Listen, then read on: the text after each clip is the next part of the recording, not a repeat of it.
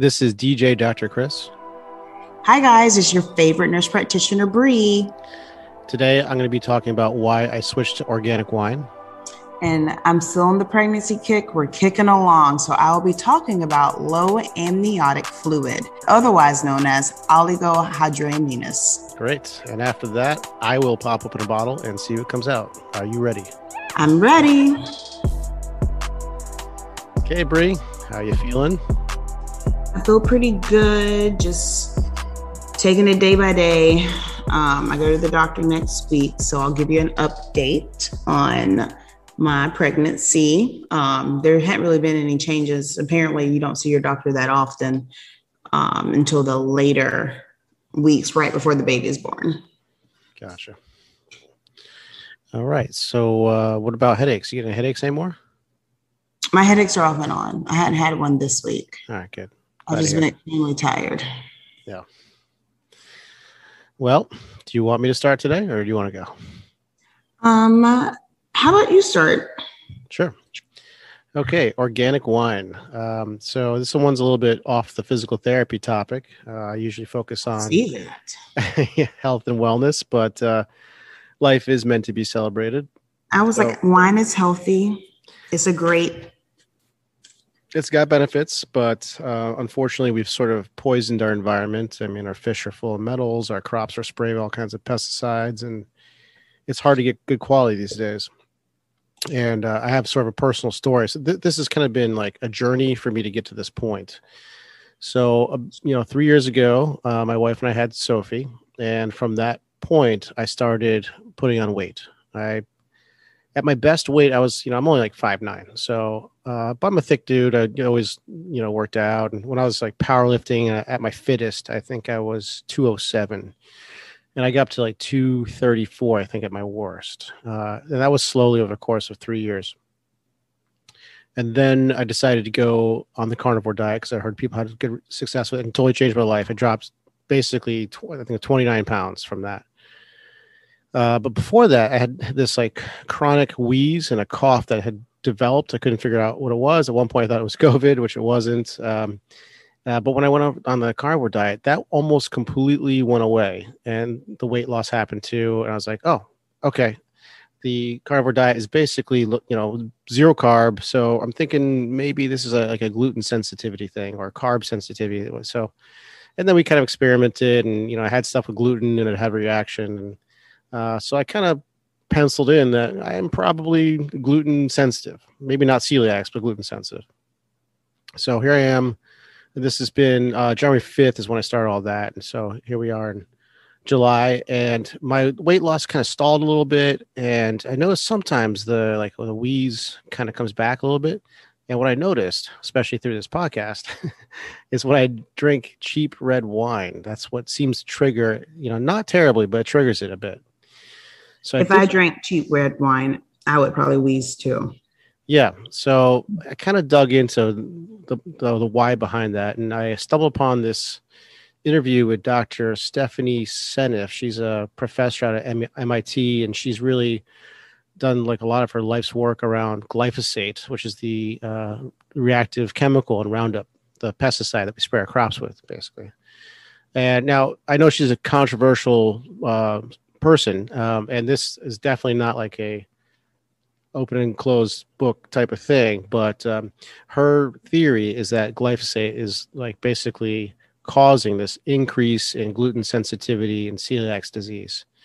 So her idea, so there's this whole pathway called the shikimate pathway where um, enzymes that come with things like wheat break down gluten. So some of the issues around gluten is that like our bodies can't digest it well enough. It sticks around too long, irritates the bowels and stuff like that. Um, but a normal, like a lot of people go to like Europe have no problem with bread. They come to the United States, they do have a problem.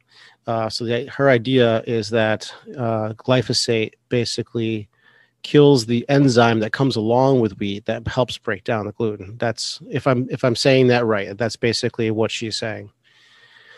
So I switched to organic wines, and it's eliminated the wheeze. So this is still theoretical. I'm still sort of testing this out on my my own, but uh, I think that's the culprit. I don't know. I think I think she's onto something. So oh that, no, I definitely think she's onto something. I've said that for years. Yep. I mean, Uh, you know, it's. I didn't really understand the whole argument behind the GMO crops thing, like, you know, because we've always been messing with fruits and vegetables for hundreds of years. I mean, that's why we have seedless watermelon and grapes and stuff like that. Uh, but now I understand what it is. So basically, uh, glyphosate came around to kill off it, it kills plants basically and uh, you know weeds are a huge problem in agriculture so what happened is they designed a lot of crops that were resistant to um, glyphosate so now they can in mass agriculture just spray a whole field kills the weeds the gmo crops that are resistant to glyphosate live. So it's a very quick way to sort of do the hard work. Uh, but in that uh, a lot of that glyphosate goes you know goes on the crops obviously and goes into the soil. And that's the thing you know just washing your fruit off or whatever is not quite enough because you're the um, all the fruit and vegetable soaks up the glyphosate from within the soil. So it's it's built into the fruit and vegetable unfortunately. And so and red wine grapes uh, you know unless it's an organic farm they're they're going to probably have glyphosate all over them especially the big mass production wines the cheaper wines um Now, also- wait, wait, wait before you go on. Mhm. Is it just wines in America, or you think wines throughout the entire world? Well, I, I know there's a lot of countries around the world that have banned glyphosate. Like Russia, for example, has no glyphosate. Maybe that's why I don't react to vodka. I don't know. Um, but and I think certain parts of Europe it's banned. Uh, pretty sure. Uh, you might have to fact check me on that one. Um, but what was I say? Oh, well, and then I just want to mention there, there's a whole bunch of other things too. United States that we do are kind of weird. Like Americans tend to like or they think they like a dark, deep colored wine. Um, so they, there's something called mega purple that they add to these wines. There's always additives in there, like up to 250 different additives. And uh, not, I'm not saying the mega purple is bad, but they're just like they're dyeing our wine. And I just, just why, why, taking all that stuff and who knows what's doing? So I just switched to organic. That's why, you know, you've heard me talk about Scout and Cellar, you know, and I, I am a representative for full disclosure of Scout and Cellar wines. I haven't even sold anything. I, I don't even care about the. I, I just want to order from them uh, because what they do, Scout and Cellar is not a winemaker. It's more, it's a scout. They go out and look at uh, uh, basically winemakers that say they're organic. They buy a bunch of their wine. They test it out, making sure it's to their standard, and then if it is, they give the Scout and Cellar sticker saying like, "Okay, we've." It's basically a certification saying this stuff is legitimate. So um, right now, I'm drinking. I already popped my bottle. Uh, it's called Our Daily Red. It's just from Publix. It's an organic wine. It's cheap, but it's it's all right. Uh, but I'm just waiting on my next shipment from Scout and Cellar.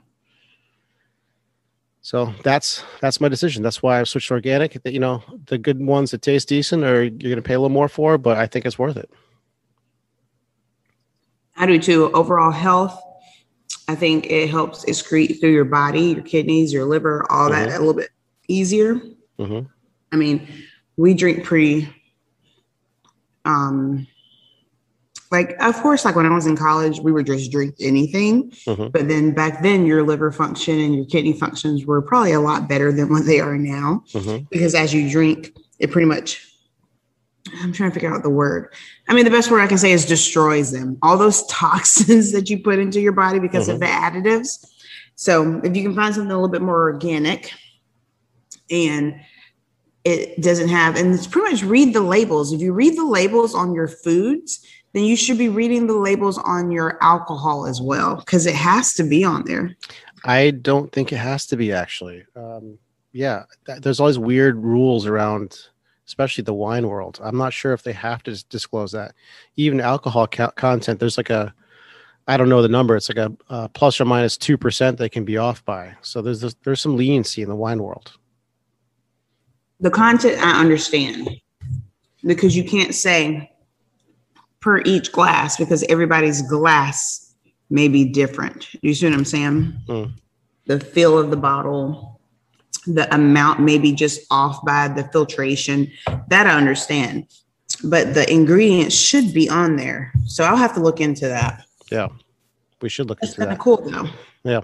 So that's it. I mean, I'm going to put um, the link to Scout and Cellar in the show notes. Um, I just I believe in it. That's that's why I signed up to be a a, a- representative. Nice. Okay, Mhm. cool. right. Perfect. so that's what I have in the. I, I guess we're calling it the rehab corner. yes, I mean, kind of fits. Um, so for your weekly dose of BS, that very long word that I probably did not pronounce right, and if you know me, you know I have difficulty with, with that. But oligohydramnios, which is pretty much normal terms, low amniotic fluid. So I do not have this, so I'm not concerned, but um, it's just something that I feel like people should be aware of, especially if you're pregnant. It is a silent condition that your practitioner will d- detect, and it can usually be con- controlled. So it's nothing to stress out about.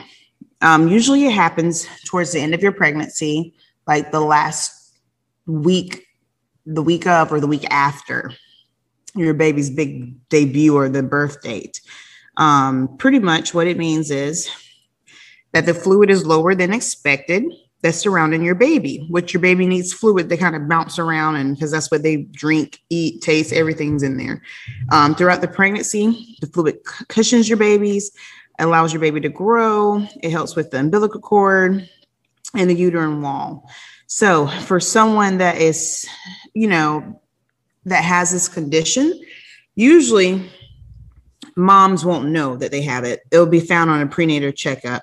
Your uterus measures smaller than normal. You're not gaining enough weight during pregnancy. I don't have that issue. I've gained way too much since I've been pregnant. Um, your baby's heart rate suddenly drops, or you have decreased amount of amniotic fluid, which is detected by an ultrasound. Um, occasionally, you can have leakage from your vagina or a significant decrease in fetal activity. So, if you notice anything like that, I would go to your doctor just to check it out and make sure you're okay. Um, what causes this to happen? Usually, it's caused by a leak or puncture of the amniotic sac after an amniocentesis or spontaneous fluid leak at some point during pregnancy that's small and goes unnoticed. So it's not like one set thing. Like, of course, and an amniocentesis is when they go in, they're testing for different conditions. That is a automatic. They put that on the consent. You should know this could possibly happen. But the spontaneous rupture is something that most women probably don't know about, and how you should be checking yourself. Like if you normally don't pee on yourself, and you start feeling like these just little leaks I would be more aware of what is happening and just talk to your doctor. Um, let's see. So Who's most common at risk for sorry, this? Huh? Go sorry, go ahead. Continue. Um, pretty much those pregnancies that are post term, like I said, 39, 40, 41, 42. 42 is the main person that's at risk for it. Usually, most doctors will not let their patients go past 41 weeks, though. So, that's good to know. And then, um, how is the baby affected? Um, usually, if this happens, they're not going to let you do a vaginal birth. You'll have to have a C section. Mm-hmm. And most babies are fine. It's just as long as they, you know, catch it early enough. But some doctors that if you don't detect it early enough, the greatest risk could be a miscarriage, premature birth, or birth defect. Um, so pretty much you just need to drink plenty of water. Have go to your appointments. They'll do non-stress tests. They'll do a biophysical profile. And if they have found that this is happening, you'll have a C-section. They'll schedule it as late but as early as possible, if that makes any sense. Um, if you have any more questions on this, I'll be happy to put a link on our Instagram page. So that way, you know, there's more reading, you can do more stuff, get more involved and informed. And of course, always talk to your practitioner or physician. So that way you are just educated on what's going on. Okay, good to know. Uh, so, some of those symptoms they seem pretty subtle or easy to miss. I mean, you know, leakage, I guess, is not subtle, but I think that's kind of common in pregnancy. That could be real easy to miss because if yeah. you're just like, oh shoot, I have to go to the bathroom because something right. leaked that's what I would be thinking. Like, I crap, I peed myself. yeah. Uh, like, what are what are some of the other symptoms you mentioned? L- lack um, of uh, movement to the baby.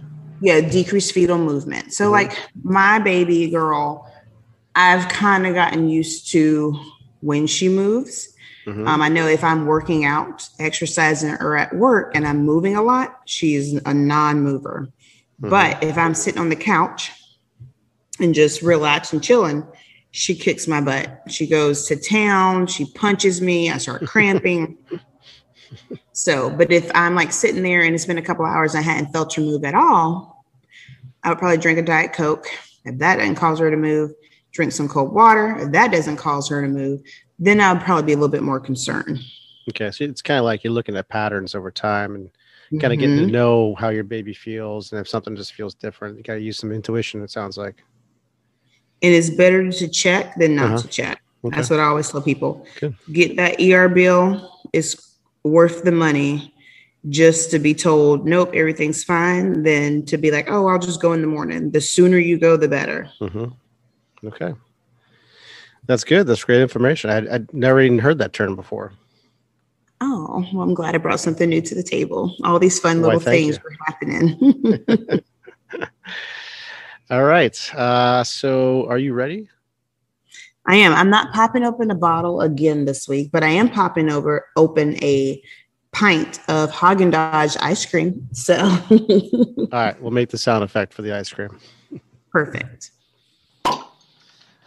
Okay, Bri. So, what do we do first? You want to go restaurants? You want to go questions? You want good news? We usually end with good news, right? Yeah, let's end with good news. It's always good to end on a good like good note. So let's do restaurants first. Okay, sounds good.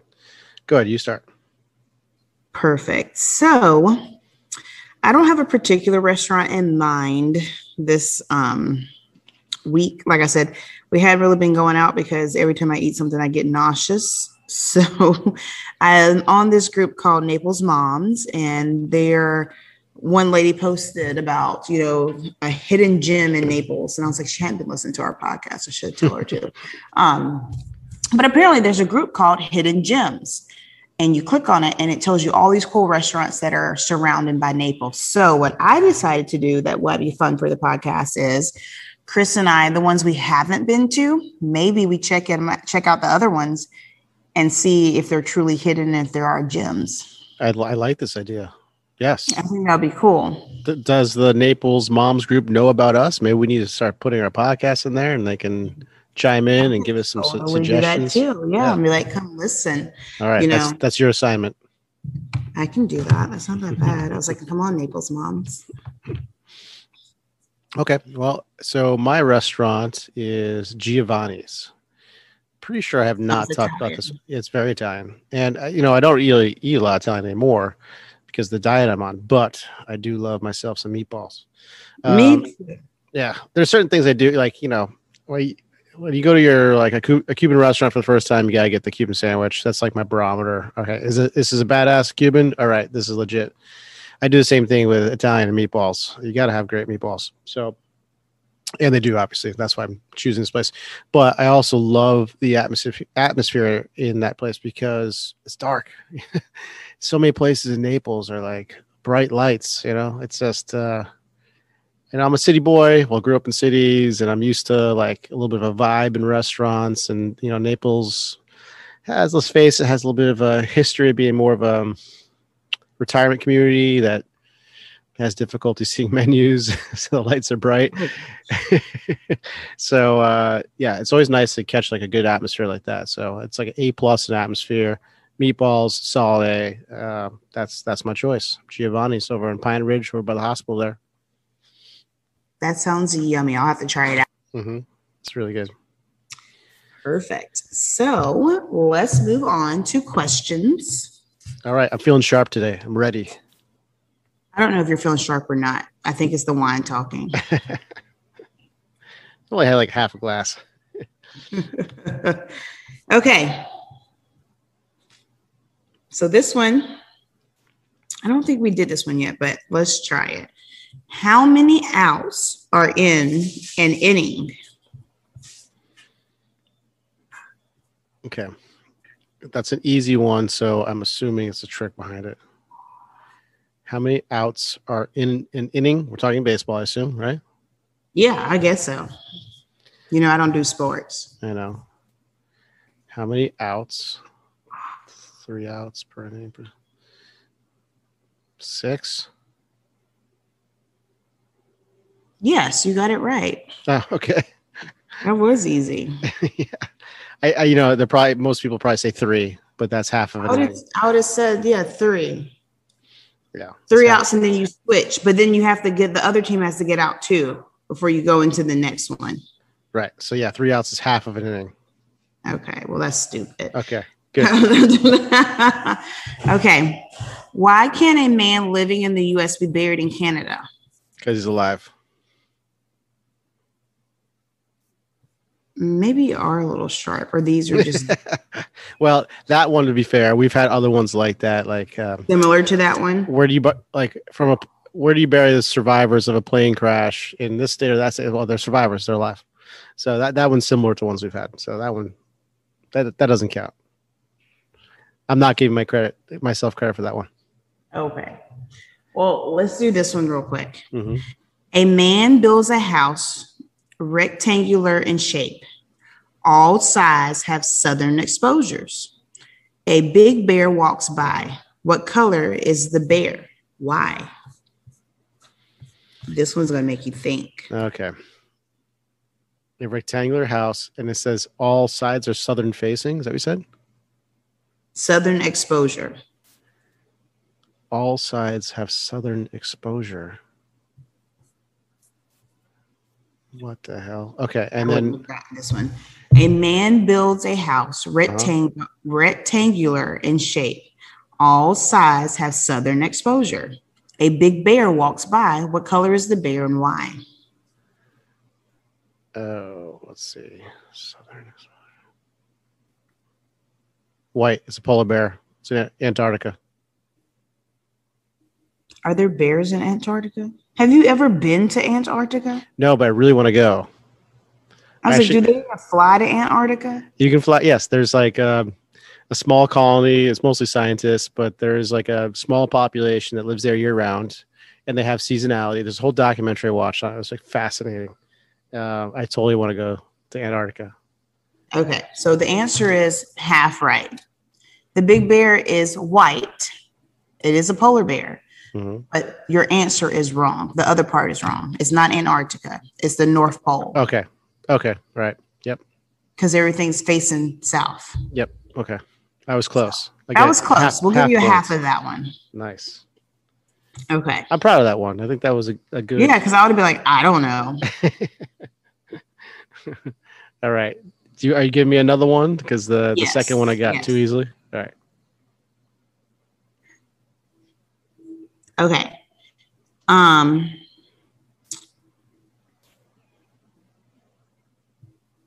Oh, because I know that I don't think I know the answer. You can't Google this. What was the president's name in 1950? Oh God, I'm so bad with history. Eisenhower. No. Yeah, let's see. Wilson. No. Uh, God, this is embarrassing. I'm so bad with this kind of stuff. Nixon. No. Ford. No, that was that was way later. Uh, Grant. No. Do you don't you need to stop. Uh, let's see. No, Kennedy. no. 1948. My mother was born. Ah, Okay, I give up. George W. Bush. 1950. Mm-hmm. What? is that a trick? I don't get it. Wait a minute. Maybe this person's wrong. What was the president's name in 1950? I started thinking about that. I was like, I think it was Kennedy. Well, yeah, my mother was born in 48. I believe Kennedy was in office when she was born. I'm not sure what year he got assassinated. Yeah, Google that because there's no way it's either. Oh, it says Truman. Uh, okay. All right. That doesn't make that. any sense. Why did why did the answer initially say Bush? Yeah. What was the president's name? Oh, okay. Okay. I got it. Okay. So we're both wrong. If any listeners caught that, please message me and tell us how dumb we are. So technically, these questions are old and technically it still applies to today. So if you listen to the question again, Oh, okay. what was the president's name in 1950? Wait a minute. What was the president's name in 1950? Yep. Bush.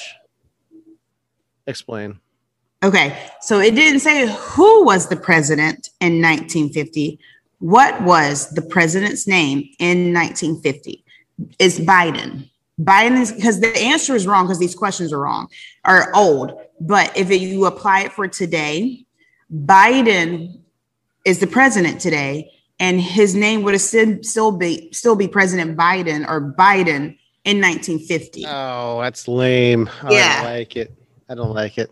I didn't get it, but I got it now. I, got, I still got it before you. So So, okay. So in 1950, what was Joe Biden's name? That's kind of Yes. the. Oh, all it's right. still Joe Biden. Oh, my God. that took me a second. I was like, why is Bush on here? But then like I Googled it and I was like, wait a minute. That just something's not adding right. That was cute though. It was a Cute. question. Yeah, I guess that's cute if you want to call it that. All right, let's do one more and then we'll do good. All right. Okay.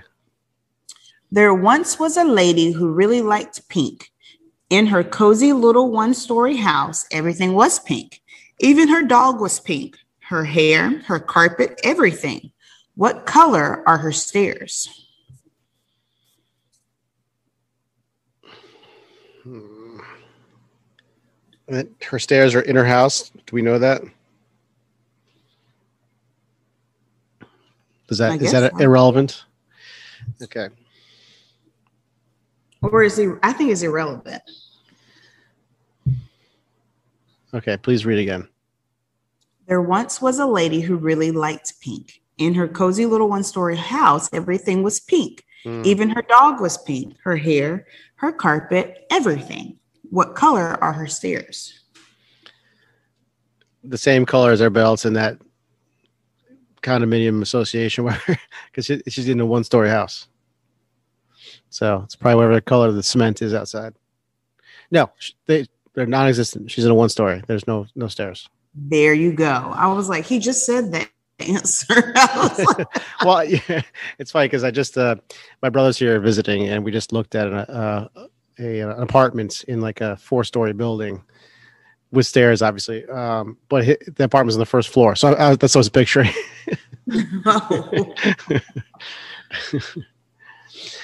well, good. You got, I think, two and a half. I feel like I did better than that. No, because you messed up. you didn't right, say fine. the north. Two and a half. I, I think you got like one. You know, yeah, north, south. Come on now. Yep, All right, fine. You ready for some good news? I am. I picked this story because I actually have um, it brought up a memory of mine because I have something similar. Not as cool as this guy's story, but I had sort of a similar story. So you get two stories in one here. This guy's story and then mine. So the article title is After Man Finds Thief Who Stole His Dog. Instead of calling police, he's helping her get into drug rehab. Okay, so this takes uh, place in British Columbia. Braden Morton, uh, his dog went missing. Um, turns out she was dog napped. Never heard that term, but dog napped. Oh, outside his home in Cranston, British Columbia. Um, so he got a lot of tips, and then they tracked down the woman that uh, uh, you know stole the dog. He ended up talking to her, and instead of lashing out, he confronted and reassured the woman. Said they arranged to meet the parking lot at a local mall. The woman, still in tears, gave Darla, that's the dog, back to Morton and apologized. She hadn't acted alone, but she was truly remorseful for her role in the crime. So Morton had an epiphany. He realized that she was a drug user. She admitted the whole plot was a means to get money to buy drugs. And the reason Morton knew was that he'd once been an addict himself. So he's been clean and sober since May of 2015. Uh, and he's also done some volunteer work as a counselor working in the field. So basically, instead of giving her, because there was all this reward money out there and everything, so he offered to pay for her rehab if she would commit to it. um, and I forget where it goes. I don't think it's come to fruition yet, but she agreed to it. Um, so know that's the story. So instead of like lashing out, suing her, or doing the stuff that most people would do, he basically changed his mind, changed his tune, and said, "Look, I've been there before, and uh, I will pay for your rehab." Uh, Facebook got a hold of it, and then um, I think let's see. Thanks to social media, the good deeds snowballed once they learned of his generosity. Not only did Morton's Facebook cronies pick up the tab for another week's rent, they found them. Oh, there was a second man involved who also um, he basically gave sort of the same deal to, and Facebook cronies picked up the tab, put this guy in an apartment because he was uh, homeless. So there you go. Good deed. There's good people out there. So oh, um, I still believe in that. Yeah. And I have a little bit of a story, as I mentioned. So, well, in my mid 20s, I was living in Boston and I was bartending at this place called Mistral, really nice restaurant, but it was in kind of a, back then, a bit of a seedy part of town, the South End. It was still kind of an up and coming neighborhood. There was still some homelessness around, stuff like that. So, I would typically get out around two o'clock in the morning because uh, we have to shut down the bar and clean up. And I had this little Acura Integra back then, and I had it parked on, I think it was Boylston Street, I believe. Anyways, right outside the restaurant. And um, I get out of the restaurant, walking towards my car, and I see the light on in the cabin in my car. And I'm like, oh shit, I'm gonna have a dead battery. As I cross the street and get, you know, my vision gets in line with the car a little more, I see my shotgun door is open and I see a leg sticking out of the door. Like someone's clearly sitting in shotgun. Like, oh my God, I'm being robbed. So, like an idiot, I took my keys and I laced them through my fingers to sort of make brass knuckles in a sense. And I ran up to the car, grabbed the by, guy by the collar, and just put my keys right up to his throat. I'm like, "Get out of my car! Get out of my car!" Uh, so he, he, gets out. Luckily, he's was a sane person, didn't like kill me. Um, and all right, give me everything. So he he has his backpack full of all my stuff. He starts handing me back some stuff. There was actually this really funny moment where I had this electric shaver that I had lost, and he pulls out and he hands it to me, and I was like, "Oh, dude, where'd you find that? I've been looking it for months." He's like, "Yeah, I was in your center console." I was like, "Oh shit, thank you." So, anyways, I, I started like talking to him, and I was like, "You know, what's going on? Why are you doing this?" And he, you know, gave me a story like, "I'm homeless. I got kids. I just, you know, I, you know, I, I have nowhere to turn to," um, and so. I, this is kind of crazy to me that because I, I don't know if I'd react the same way these days, but I gave him 40 bucks. I gave him my cell phone number and I was like, look, man, I need you to turn this shit around. You, I want you to try to do this. I, I point him in the direction of a potential job. I want you to call me in a week. Let me know how you're doing. Um, and then I went back to the restaurant, told the story. Everyone thought I was freaking crazy. Uh, and I was definitely young and naive and, you know, whatever, pumping with a little too much confidence. And uh, sure enough, he called me a week later. I didn't really expect him to, but he called me. He's like, "Thank you so much. Like, I'm doing much better. I, you know, I found a job. I don't know if he was giving me some BS, but you know, it felt good that like, I don't know, maybe maybe I made an impact in his life. Maybe so, you helped somebody. I don't know. I like to think so. Hopefully. So you if you're out there listening, let me know. that would be cool if he did hit you up. I know. Who knows? But I even had him programmed into my cell phone at one point, um, many many years ago. So that's my my story. I like it. That yeah, could have been a good news of today too, but I'm glad it kind of coincided. Yeah, yeah, it made me feel good. That's the right word to use. Whatever. Anyway. Anyway, anything else you got on your mind, Bri? No, I think that's it for this week, guys. Um, like I said, continue to hit us up. Let us know what you want to hear, what you want to talk about. I'm sure y'all over my pregnancy series, but I have a few more weeks to bitch. So y'all are going to be right there with me. and then we will go into other news. I think our listeners are loving it. I hope so. y'all are the best. All right, guys. So make sure if you're a wine drinker, get organic. It's just so worth it. You know, spend a little more money on yourself, your health. It's just worth it. Yes. I mean, you go out to a bar and you know spend hundred bucks or whatever on food and drinks. Spend the twenty five dollars on a, a nice bottle of wine. Treat yourself right. I agree. I agree. Okay, Bri. So let's wrap this one up. This is DJ Dr. Chris. And it's your favorite nurse practitioner, Bri.